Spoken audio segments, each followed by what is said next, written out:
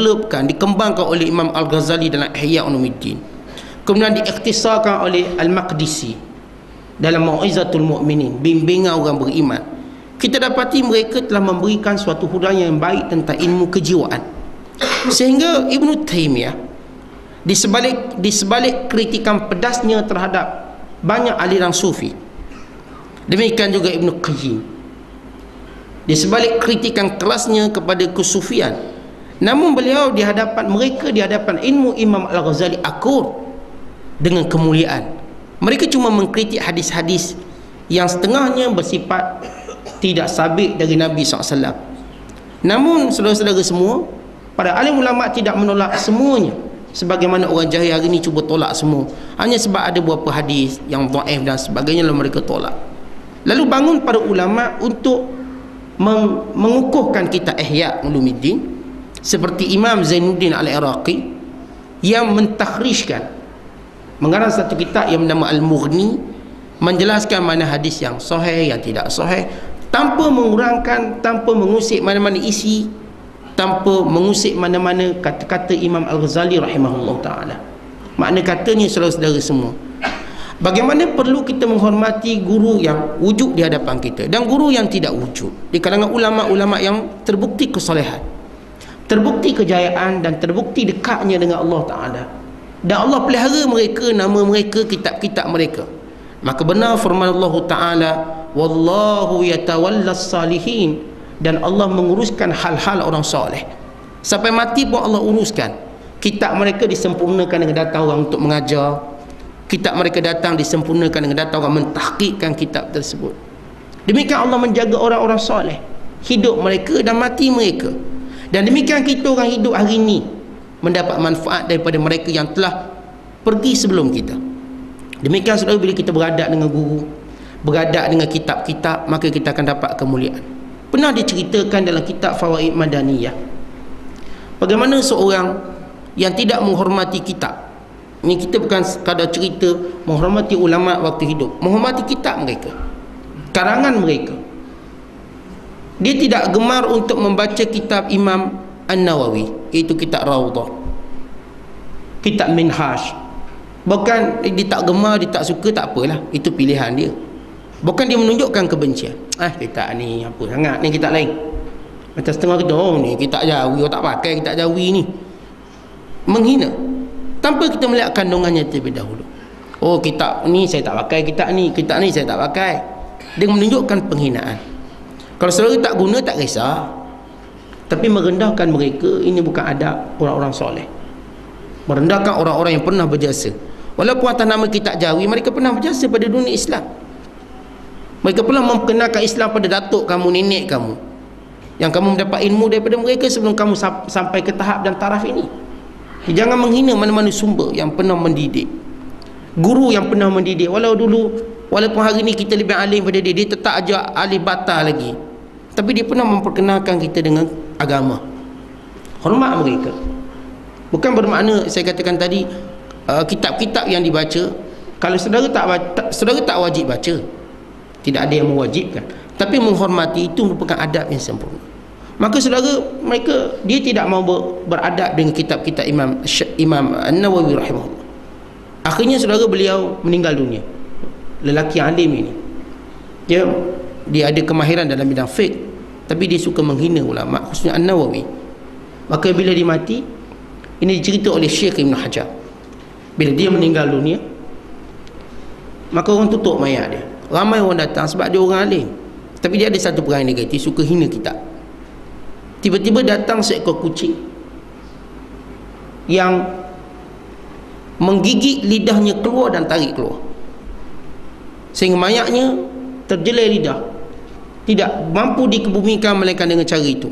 Maka fahamlah orang ini kerana penghinaannya pada An-Nawawi rahimahullah. So bukan kita cerita maksum Imam Nawawi tidak. Kita cerita menghormati ulama. Ini sebagian kisah. Artinya bila kita menghormati ulama baik hidupnya atau matinya baik perkataannya atau kitabnya kita akan dapat kemuliaan.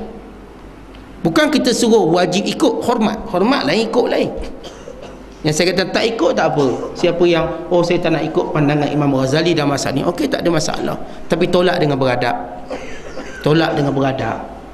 Dan dengan penuh tunjukkan rasa rendah diri kita.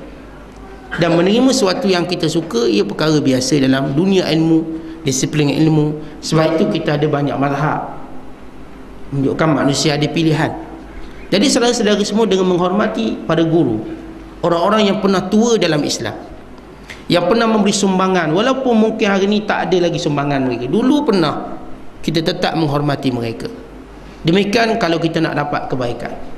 Dan demikian juga kalau kita nak diberi kehormatan, penghormatan. Pada hari kita lagi tidak mampu untuk melakukan apa yang kita lakukan sekarang. Kata Syekh, orang sufi itu tidak boleh menjadi bakhil. Kerana dia tidak punya apa pun di tangannya yang boleh dibakhilkan. Sebab dia telah mengaku akan meninggalkan dunia semua sekali. Jika dia diberi orang sesuatu dari dunia itu diambilnya bukan untuk dirinya, bahkan untuk orang lain. Sebab hatinya telah bersih dari segala macam benda yang ada. Yang bakhil itu siapa yang masih ada dalam tangannya harta atau benda.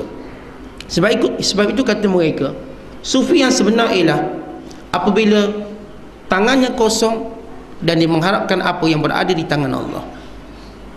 Ini benar-benar sufi. Tangannya kosong. Maksud tangannya kosong Artinya dia senantiasa pemurah. Sampai peringkat tak ada lagi yang nak dimurahkan. Lalu diharapkan apa yang berada di tangan Allah. Ini apa yang berada di sisi Allah Subhanahu Wa Taala. Sufi yang sebenar ialah kalaupun dia punya harta bukan untuk dia, untuk orang lain. Hartanya untuk nafkah isterinya. Hartanya untuk anak-anaknya belajar. Biar anak-anaknya pandai, kena ilmu Allah. Hartanya untuk keluarganya yang susah.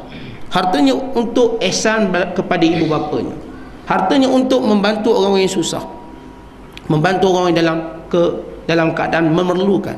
Sebab itu di sana banyak hadis-hadis Nabi SAW yang menyatakan kelebihan orang-orang yang mengutamakan orang susah daripada dirinya sendiri. Dalam hadis yang diriwayatkan oleh Imam Muslim misal contohnya yang mana Imam Nawawi menyebut hadis ini dalam susunan yang ke-36.